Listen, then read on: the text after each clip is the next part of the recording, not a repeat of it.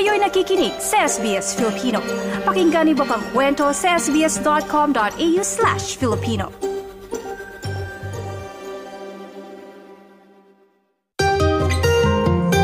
Kasama ko ngayon dito sa studio ang kababayan nating si Ian Ramirez, isang dramaturg at PhD candidate sa University of Melbourne. Magandang araw! Magandang araw din po. Salamat sa panahon mo, Ian. At salamat din po sa pag-imbita sa akin ngayong araw. Ian, ano ang dramaturg? Medyo malaki po itong term na dramaturg, no? At mahirap po siyang um, ipaliwanag lang sa, sa, sa simpleng salita.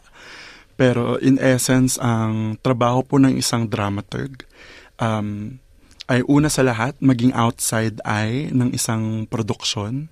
Uh, practice po ito sa theater at ang ginagawa po ng dramaturg ay outside eye po siya ng script. So binabasa niya po yung script, ina-analyze niya ito, at sinisiguro niya na akma sa historical context, akma sa social political context nung nung nung milieu ng isang palabas. Akma yung um, kwento ng play doon sa historical context, social at political context na ginagalawan ng mundo ng dula.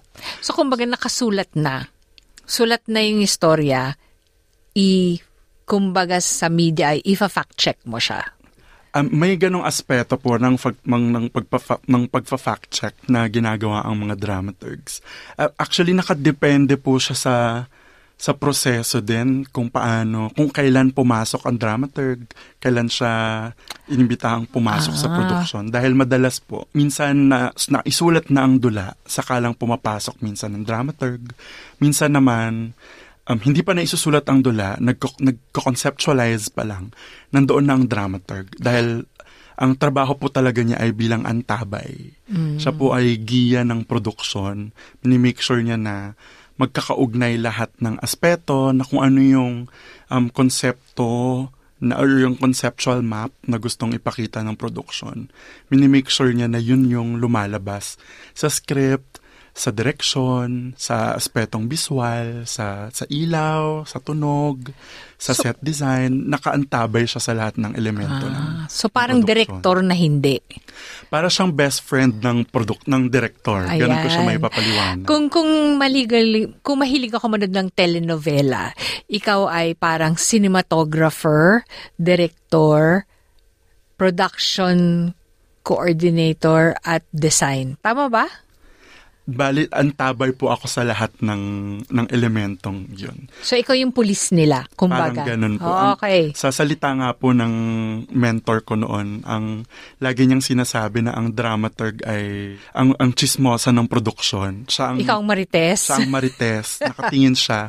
Uh, sinusumbong niya sa director ko ano yung hindi malinaw sa visuals, kung ano yung malisap sa kung ano yung hindi, hindi akma doon sa text. Pang-entablado lang siya. Pang-entablado po siya nag-ugat, pero may mga dramaturgs na rin po na sinusubok na i ilagay yung practice ng dramaturgy sa pelikula, mm. sa television. Kasi in essence po talagang um, meron naman palaging critic or may outside eye ang mga production, whether film, television, or sa theater. So, kailangan meron kang mata para sa detalye. Yun po talaga. Kailangan meron kang mata sa detalye at isa ka ring fountain of information. So, Kung kailangan mahilig kang talaga lalapit. magbasa Opo. at kailangan mahi- at kailangan switched on ka rin sa mga kaganapan. Opo, talagang yeah, ikaw ay very knowledgeable hindi lang sa context ng play kundi sa marami pang bagay katulad ng kasi minsan uh, may ele- may elemento rin na binabantayan ng dramaturg ang ang audience management na dapat uh, um, may intindihan niya kung paano ito tatawid sa mga audience. Hmm. Ano Ma- naman yung nag-interest sa'yo? Parang sobrang, kung ako yung tatanungin mo, medyo vague yung oh. papel ng dramaturg sa isang produksyon. Hindi ba? Napakalawak, napakalaki, pero napaka-specific. Yes. ba diba? Parang ganun eh, malawak na pero hindi.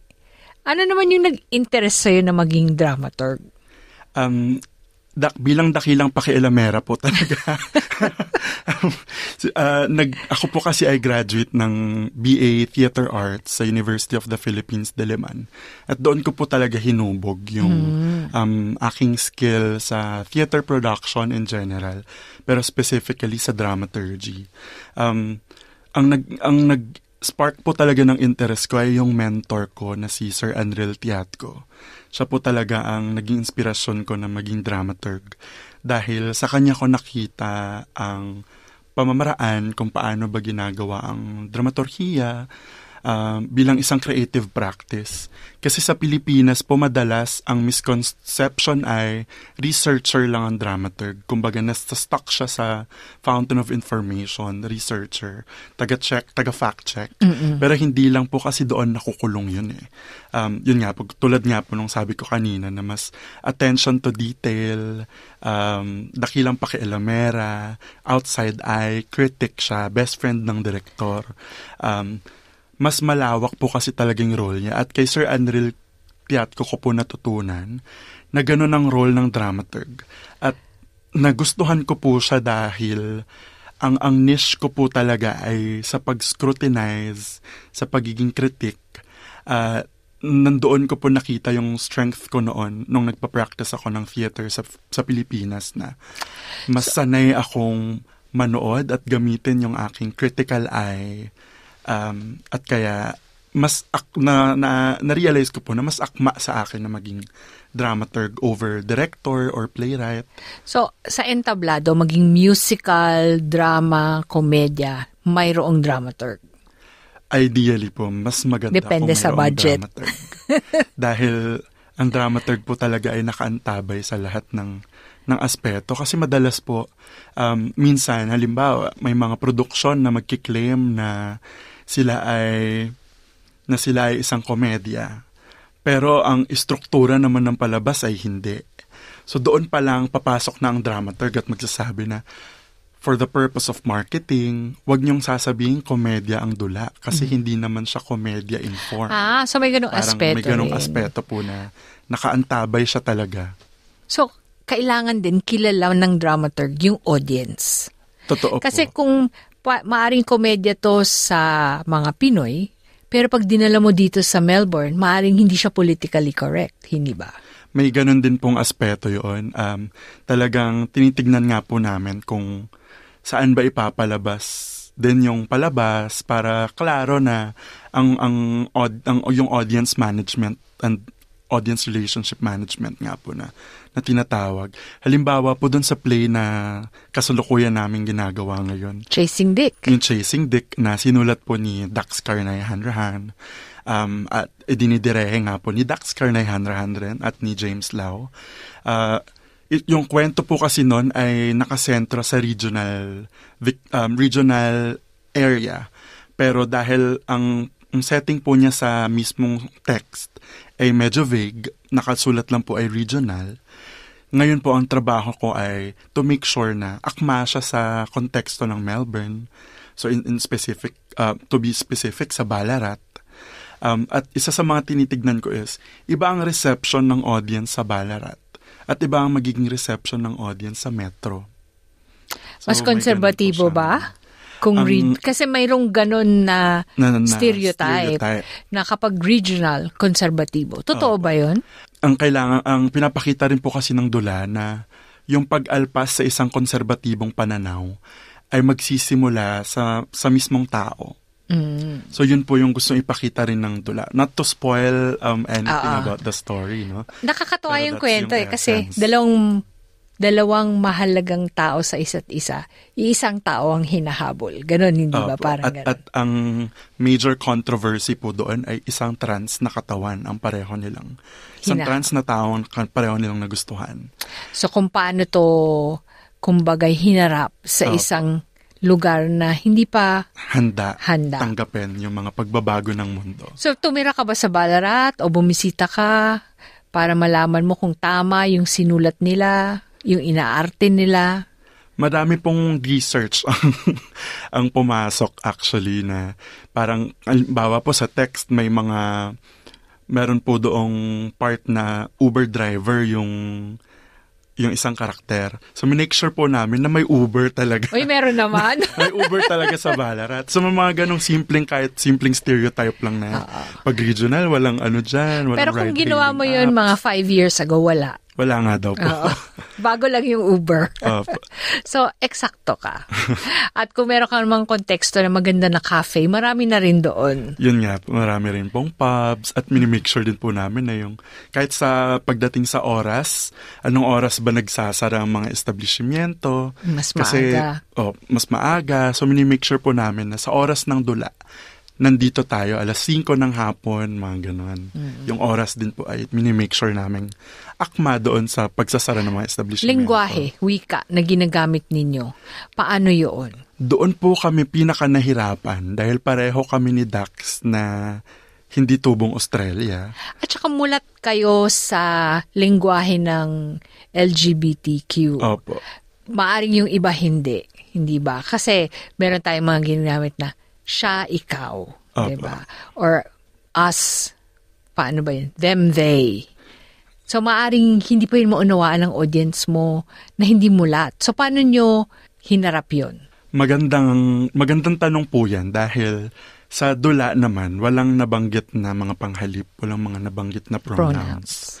Um, pero ang minake sure po namin sa, sa dula is hindi kami gumagamit ng mga salita. Kumbaga, plain language siya. Hindi kami gumagamit ng mga salita na very niche or specific na kailangan in the know ka na. Kasi aware po kami na ang audience namin ay maaring mixed. Mix ng progresibo sa konserbatibo. So, minimake sure po namin na kayang maarok nung kung sinong manonood yung palabas. Na at the same time, hindi namin masyadong dinadilute yung politics na gusto din naming mapag-usapan. Ganon po. Tapos, hindi ka kayo lumaki dito. So, paano nyo natutunan yung wika? Ayun po, actually si Dax ay may kinausap siyang um, isa pang mandudula, playwright. At yun po ang tumulong sa, sa amin actually na i-make sure na may mga salita na specific sa regional, may mga salita na hindi masyadong American English. Oo, yung Mm. usapin lang mismo ng basura. Yun nga po. Rubbish, Rubbish hindi ba? siya, hindi siya Trash. trash. O kaya Tapos yung mga salita din po na tulad ng bloke na very specific sa lalaki. sa lalaki. Inaalam mo rin kung yung konteksto, paggamit at panahon ng wika. So, mabusisi talaga, no? Mabusisi po siya. Kumbaga, may panahon nga po na talagang one-on-one lang kami ni Dax na nakatutok sa script at binabasa namin siya line per line para ma-make sure na tama siya. Kasi naisulat niya na po ito nung pumasok po ako. At nung pumasok ako ay doon sinabi sa akin na kailangan i-contextualize into the, the experience of Ballarat. So doon po ako ngayon tumutok na dapat sakto sa kumbaga sa setting, sa milieu yung gagalawan ng dula. At yun nga po yung maganda sa dula actually, is kaya siyang gawin sa kahit anong regional areas dahil flexible at adaptable siya sa anumang wika. Ay, hindi ka tulad ng pelikula na isang beses ka lang mag-shoot at mag edit Opo. Ito ay, kaya, mm, ano talaga siya, may, kumbaga may extended purpose itong dula na maganda siyang ano, um, conversation starter, lalo na sa mga areas na mataas ang, conserva- ang level of conservatism. Maganda siyang maging simula ng diskurso.